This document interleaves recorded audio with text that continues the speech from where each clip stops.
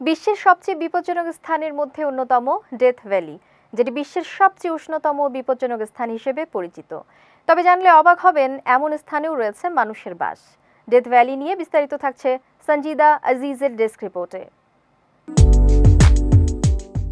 Death valley হল মুজাভে মরুভূমির একটি বড় অংশ যা ক্যালিফোর্নিয়ার নেভাদা সীমান্তের কাছে অবস্থিত।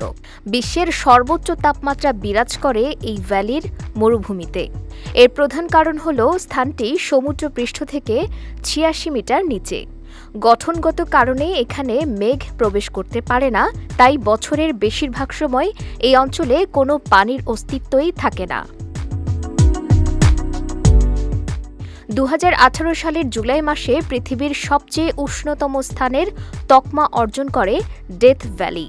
সবচেয়ে উষ্ণতম মাসের রেকর্ড হিসেবে ওই বছরের একটানা চার দিন একশো সাতাশ ডিগ্রি ফারেনহাইট তাপমাত্রা ধরা পড়ে ডেথ ভ্যালিতে, যা তাপমাত্রার সর্বোচ্চ record.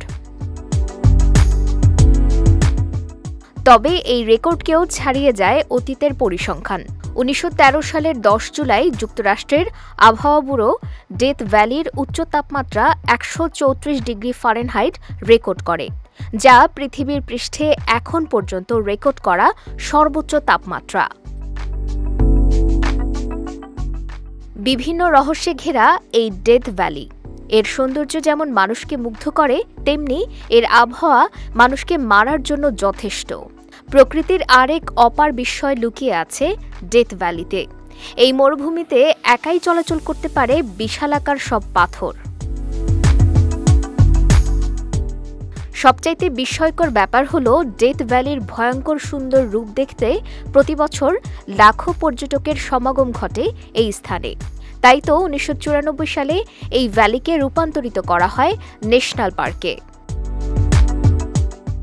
Sanjida Aziz Bijoy TV news desk